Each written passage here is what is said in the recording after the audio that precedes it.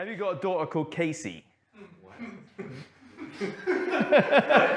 she's a, and she's a cheerleader. Well, and the son. No. Oh, Casey too. Why don't you just call your kids Casey one and Casey? Yeah.